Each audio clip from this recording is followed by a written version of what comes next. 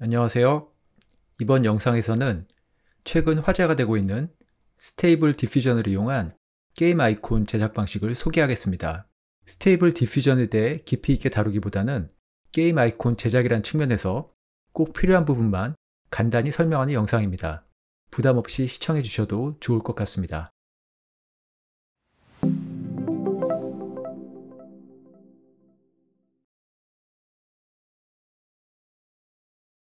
게임을 만들다 보면 이렇게 많은 아이콘을 그려야 할 때가 있습니다. 그냥 어디서 사다 쓰면 가장 좋겠지만 아이콘은 게임의 컨텐츠나 디자인도 반영해야 되고 또 아트 스타일도 일관성을 유지해야 되기 때문에 사실상 그렇게 하기는 쉽지 않습니다. 그래서 Midjourney나 Stable Diffusion 같은 이미지 생성 AI가 등장했을 때 가장 먼저 떠오른 생각이 여기서 아이콘을 만들면 되겠다 였습니다. Stable Diffusion을 설치하고 실행하면 브라우저에서 이런 화면을 볼 수 있습니다. 기본적인 설치에 관해서는 안내하는 글이나 영상이 너무 많기 때문에 여기선 따로 설명하지 않겠습니다. 좌측 상단을 보면 체크포인트라고 이미지 생성에 사용할 학습 데이터가 있습니다. 이 영상에서는 가장 많이 사용하는 것 중 하나인 딜리버럿 체크포인트를 사용하겠습니다. 그럼 사과 아이콘을 위해 사과 이미지를 한번 만들어 보겠습니다. 프롬프트에 생성하려는 이미지에 대해 적습니다. 사과에 대한 기본적인 내용을 적고 아이콘으로 사용할 거니까 회화, 게임 아트, 고품질, 그리고 스튜디오 조명 같은 키워드를 추가하겠습니다. 그리고 밑에 있는 프롬프트, 그러니까 하지 말아야 할 것을 적는 negative prompt에는 카툰, 3D, 렌더링, 흐릿함, 서명, 글자. 어, 참고로 이미지를 생성하는 과정에서 수집된 데이터에 글자가 노출되는 경우가 있기 때문에 추가한 거고요. 그 다음에 바닥 반사, 대칭 이렇게 적었습니다. 바닥 반사 같은 경우는 반사가 강해서 빛이 올라오면 나중에 마스크를 만드는 작업이 어렵고 그리고 대칭 같은 경우는 간혹 마치 데칼코마니처럼 그렇게 대칭된 이미지를 만들기 때문에 추가를 해봤습니다. 그런데 이렇게 프롬프트를 적어도 그 내용이 다 그대로 반영되는 건 아니기 때문에 너무 고민할 필요는 없을 것 같습니다. 이 상태에서 이미지를 생성해 보겠습니다. 사과 이미지 자체는 잘 나온 것 같습니다. 그러나 배경색이 좀 더 일정하면 마스크 작업이 훨씬 수월할 것 같고 또 여기서 위치, 크기, 시점 등을 제어할 수 있다면 나중에 인벤토리 같은 곳에서 여러 아이콘들을 함께 봤을 때 훨씬 더 정리되고 안정적인 모습을 가질 수 있을 겁니다. 그럼 프롬프트에 배경을 어둡게 한다는 내용을 추가하고 다시 한번 이미지를 만들어 보겠습니다.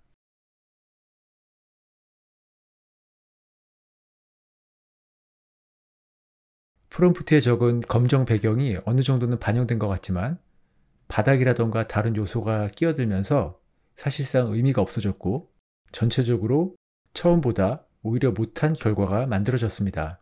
프롬프트를 계속 바꿔가며 시도했지만 앞서 말씀드렸던 그 조건들은 충족되지 않았습니다. 나중에 알게 됐지만 ControlNet이라는 확장 기능을 이용하면 text to image에서도 사실 그러한 조건은 충족시킬 수 있습니다. 그러나 여기서는 좀 더 간편하게 아이콘 제작을 한다는 측면에서 image to image를 사용해 보도록 하겠습니다. image to image에서는 어떤 이미지를 프롬프트와 그 외 설정 값에 따라 다른 이미지로 변형합니다. 여기서 중요한 두 개의 설정이 나옵니다. CFG 스케일과 디노이징 스트렝스입니다. CFG scale은 이미지를 변형할 때 프롬프트의 내용을 얼만큼 반영할 것인가를 결정하고 denoising strength는 이미지를 얼만큼 많이 바꿀 것인가를 결정합니다. 앞서 사용했던 프롬프트를 그대로 가져오고 기본 설정 상태에서 이미지를 생성해 보겠습니다. 이미지를 생성하자 윗부분에 사과 꼭지가 나타났습니다. 프롬프트의 내용을 더 반영하고 이미지를 더 사과처럼 바꾸기 위해 두 값을 모두 높였습니다. 배경색, 위치, 크기 등이 제어된 상태로 사과 이미지가 만들어졌습니다. 이런 식으로 계속 테스트하면서 알게 된 사실은 image to image에서는 프롬프트를 통해서 색상 제어가 어렵다는 점이었습니다. 그래서 아예 시작 이미지에 색상을 주고 사과를 만들었습니다. 이런 식으로 사과 이미지를 만들 수 있다는 것을 확인하고 그 다음에는 같은 빨간 원을 이용해서 토마토를 한번 만들어 봤습니다.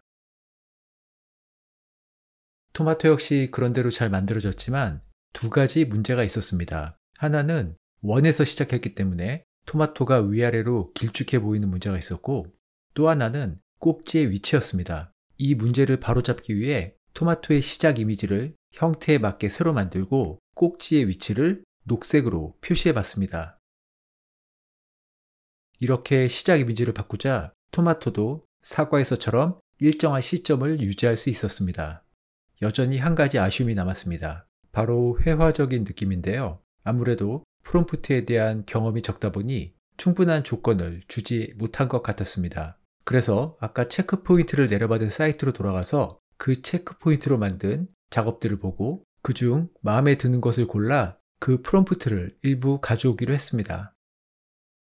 유명 작가들의 이름, ArtStation의 유행, CG Society의 유행, 복잡함, 높은 디테일, 정확한 초점, 극적, 사실적인 페인팅 아트 등등의 내용이 들어 있습니다.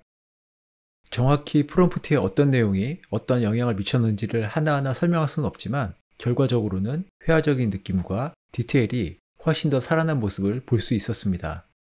같은 방식으로 빵 아이콘도 제작해 봤습니다.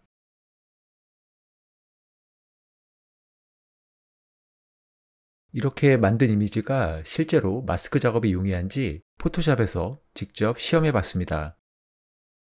배경 제거와 테두리 제거를 아주 수월하게 할 수 있었습니다.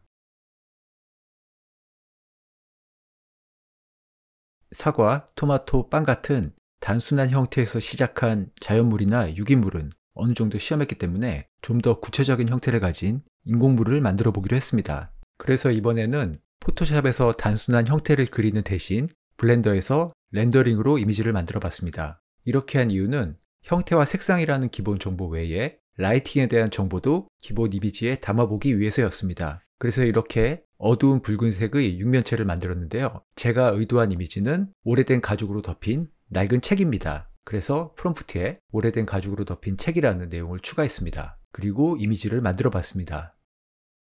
기대 이상으로 라이팅 정보까지 잘 반영된 이미지가 만들어졌습니다. 그래서 여기에 내용을 더 추가해 보기로 했습니다.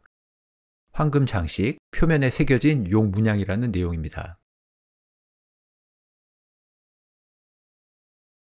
이번에는 생각보다 프롬프트에 적은 내용들이 잘 반영되진 않았습니다.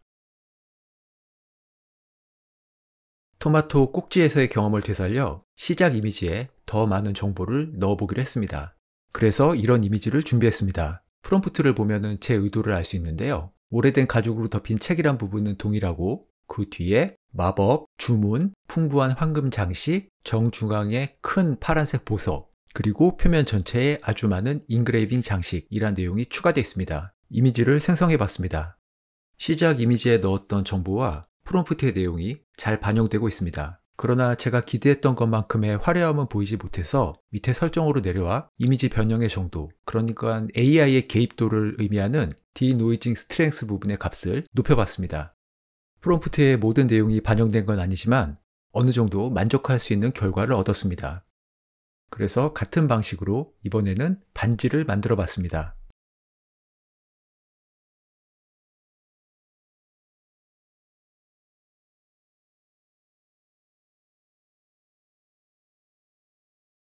실험의 마지막으로 방패를 만들어 보기로 했습니다. 앞서 가죽책을 만들 때 용문양을 제대로 그려놓지 못했는데요. 이번에는 방패 중앙에 큰 사자 머리를 넣어서 그 부분을 한번 재도전해 보기로 했습니다. 프롬프트를 보면 황금 방패, 중세, 판타지, 워해머, 중앙에 황금으로 된 큰 사자 머리, 그리고 풍부한 부조 장식, 그 다음에 사용감 등의 내용이 추가되어 있습니다. 그럼 이대로 이미지를 한번 만들어 보겠습니다.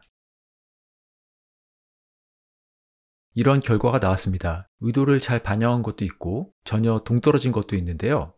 이번에는 이미지를 새로 생성한 대신 이렇게 만들어진 이미지 중에서 제 의도와 가장 가까운 것을 시작 이미지로 삼고 이미지를 생성해 보기로 했습니다. 앞서 마법책을 만들 때 설정에 있는 denoising strength 값을 높였을 때 결과가 더 좋았기 때문에 이번에는 그 값을 0.65로 설정했습니다.